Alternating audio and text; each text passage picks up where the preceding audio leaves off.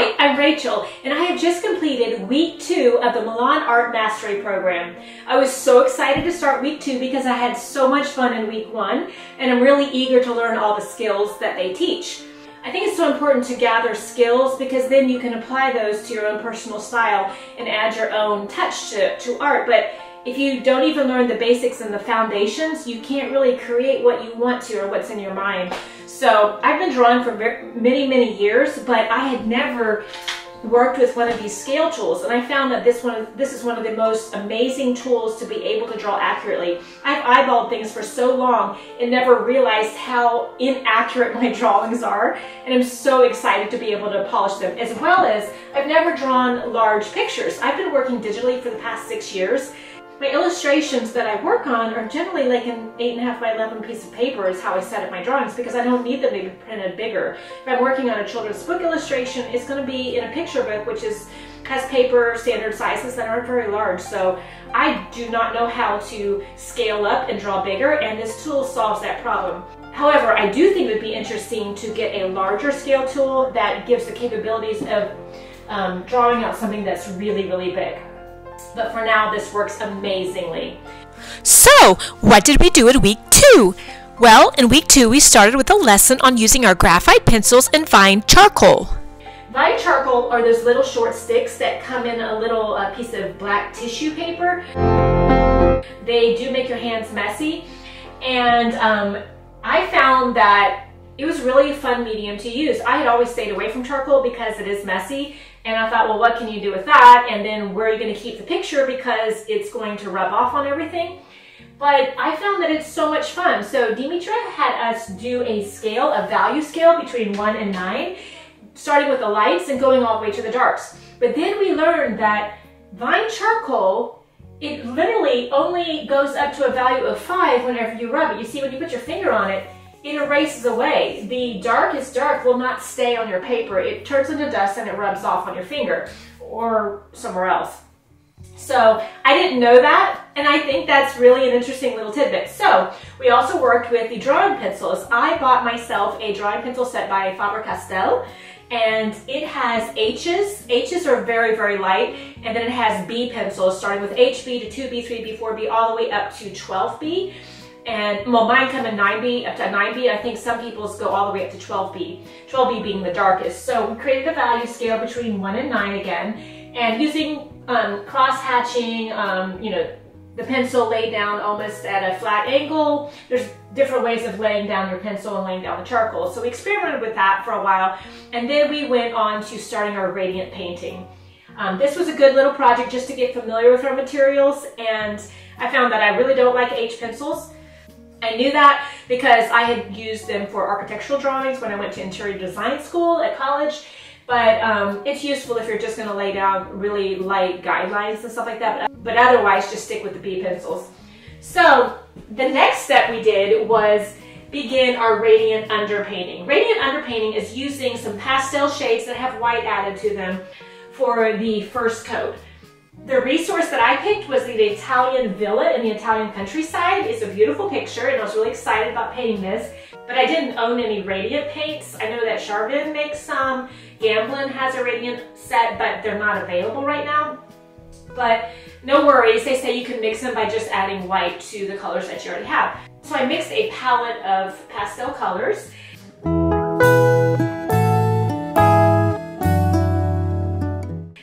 and I laid them out with the sky color, the mountains, the greenery, and so on and so forth.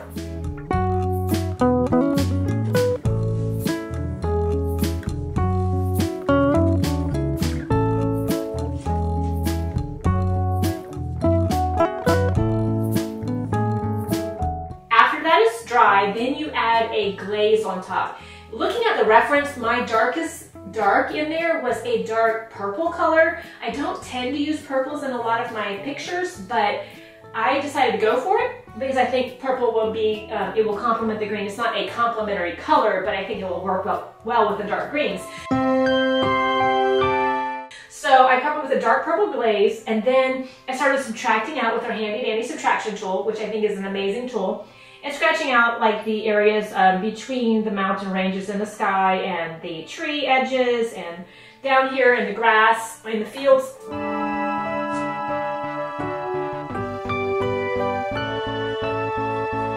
And after that, we let it dry and then we come back and we add in the opaques and the lights.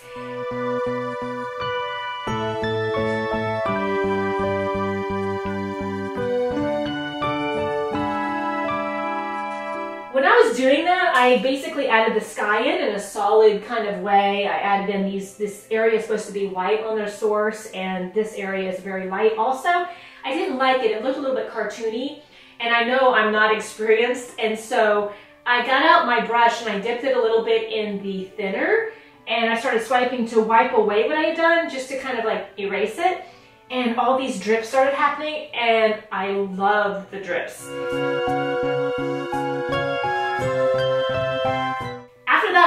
Want to paint back on top, but I was like, no, no, I need to do the assignment correctly. So I went back and painted and I didn't like it a second time, so I erased it again with some more thinner and these drips kept coming. I'm like, I love the drips. So I just went with it and left a lot of the drips. I literally must have done this three, four times in certain areas, trying to get it to a place where I liked it. But I really like the drips because I've never done that before and I just love them. So this is the result and I'm super excited, even though it doesn't look exactly like my reference picture. I love how it turned out, so there you have it.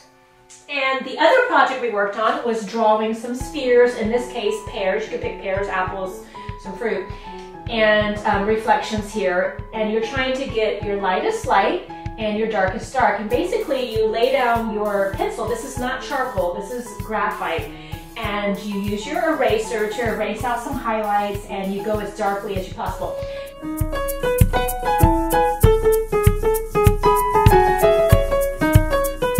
Now when I first did it, I did not put the table reflections on there. I just stopped there and the coach, one of the coaches mentioned that it would look better if I added the reflection and sure enough it really made the picture come alive a little bit more so I'm glad that um, they gave me that tip.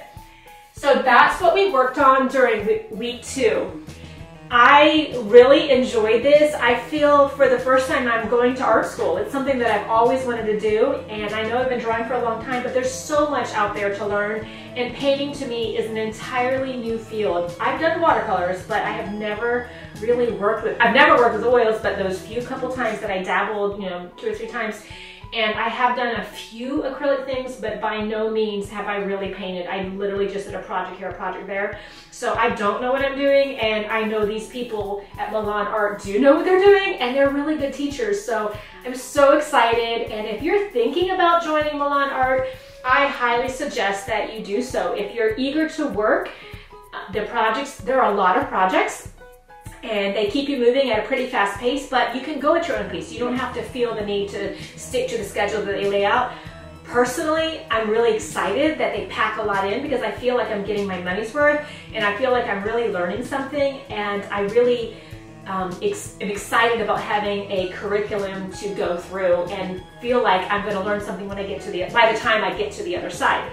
So, um, if you have any questions about it, I'd love to answer them. You could just um, drop a comment down below and I can get back with you about something if you have a question about how the program works. And hit subscribe if you want to see more videos of this kind. I probably will be doing a video at least for a few weeks about how things are going as long as I have time to film a little bit here and there. And go make some art today.